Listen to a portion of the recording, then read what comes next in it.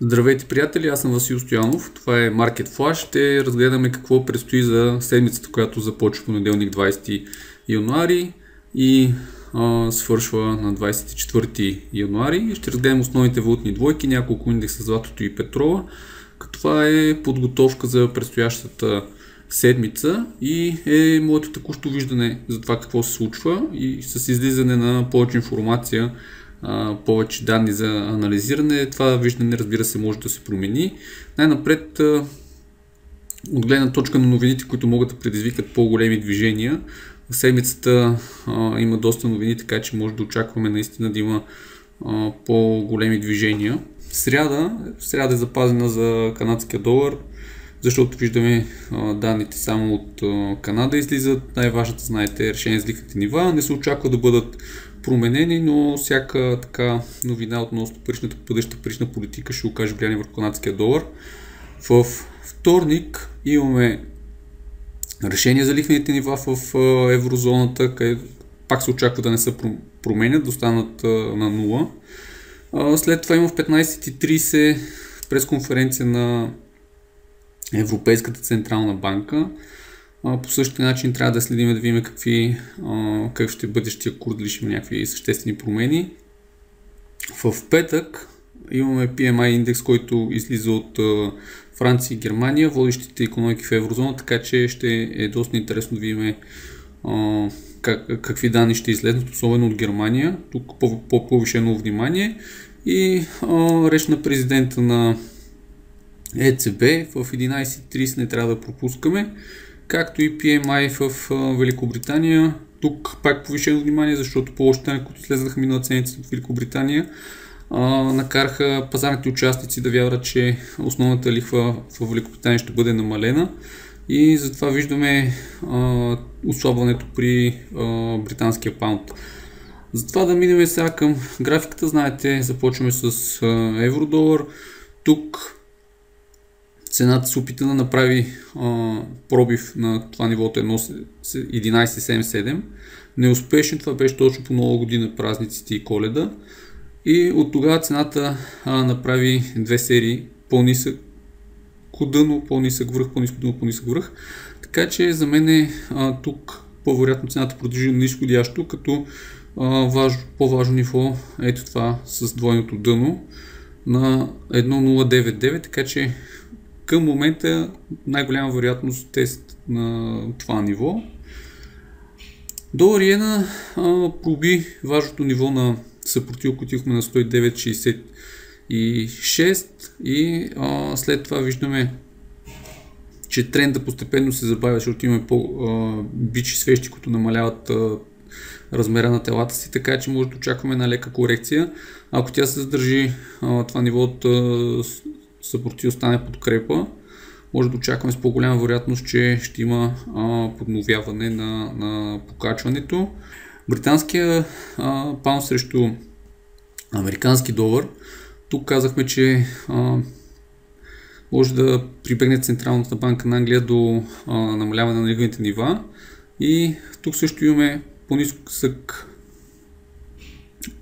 по-нисък връх, по-ниско дъно, по-ниско дъно и по-нисък връх. Цената а, по-вероятно продължи нисходящо, като важно ниво на подкрепа е 1.278 и няма да се очудя следващите а, седмици, ако цената стигне до него и го тества. При а, австралийски щатски долар подобна ситуация, а, фалшив пробив, а, отново тест на това ниво, този път то а, издържа, остава събортива, така че още нещо потвърждава, че това е фалшив пробив. След това имаме а, в петък меч свет, която затваря около а, направо на минимума и от тук по-вероятно да видим по-низки стойности. Така че а, основният вариант е за нисходящо ценово движение. Все още не може да се ангажирам с ясен таргет. Новозеландски щатски долар тук покачването, което имахме вече а, така, е в странично движение, защото цената направи един малко по-сериозен опит да пробие средната линия на Болинджер и да възстанови покачване. Това не се случи. И а, в момента странично движение, като а, Засилва се натиска на, на, на, на мечките. Виждаме всеки бичи бар е париран от по-голяма меча свеж, както и, и тук в текущите две свещи, така че в момента странично движение, но не, няма да се очудя, ако а, това ниво на подкрепа бъде пробито и цената а, тръгне а, нисходящо. US долар, канадски долар. А, тук пак имахме фалшив пробив, цената се върна а, в а, така, границите на ето така, ако погледнем предишния рейндж и започва да поскъпва. Това, което трябва да обобщиме като цяло при тези основни валутни двойки е а, при всички тях се забелязва поскъпване на щатския долар срещу всички останали основни валути. Така че това е една тенденция, която имаме към момента поскъпване на щатския а, долар. Единствено при долар франк, тук а, швейцарския франк поскъпва срещу долара, но а, това поскъпване няма а, така, има сериозна дивергенция и а, това ме навежда на мисълта си, още няма ясен сигнал, че а, това дъно е достатъчно важно. Може би ще има още едно движение надолу, да стане двойно а, дъно и от тук цената да се върне възходящо, но сега поне към момента единствено към а, швейцарски франк, щатския долар не успява да поскъпне. DAX прави съвсем леки а, покачвания, които са придружени с а, дълбоки корекции. Така, това е характерно за така последна фаза на, на а, покачването. Все още има покачване, но а, доста трудно с дълбоки корекции. За разлика от това, при щатските индекси а, цената се покачва стремоглаво нагоре, а, доста а, така над а, горната линия на Болинджер виждаме при има затваряния и тук. В такива условия на силно покачване може да очакваме корекция следващите няколко седмици да започне.